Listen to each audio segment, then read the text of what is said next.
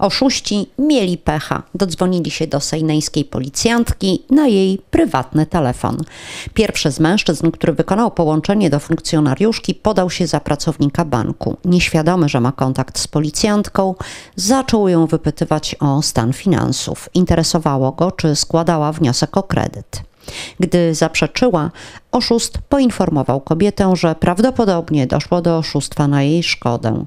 Dodał, że za chwilę zadzwoni do niej osoba z Departamentu Bezpieczeństwa Banku, która podpowie, jak właściwie zabezpieczyć konto. Po kilku minutach do kobiety zadzwonił kolejny mężczyzna. Chwilę po tym, jak przedstawił się z imienia i nazwiska, oznajmił rozmówczyni, że ktoś uzyskał dostęp do jej rachunku i usiłował wziąć obciążający ją kredyt.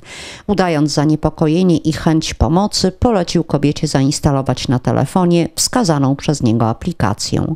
W tym momencie dowiedział się, że rozmawia z policjantką. Tym razem było to jedynie usiłowanie oszustwa. Pokazuje jednak, jednak, że przestępcy wciąż nie próżnują i mogą zadzwonić do każdego. Dlatego policjanci kolejny raz apelują o ostrożność i rozwagę przy podejmowaniu decyzji finansowych.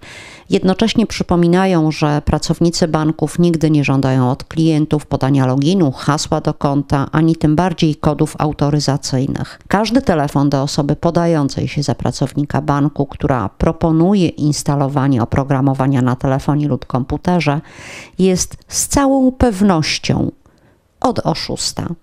O wszystkich próbach wyłudzenia pieniędzy należy natychmiast informować policję, korzystając z numeru alarmowego 112.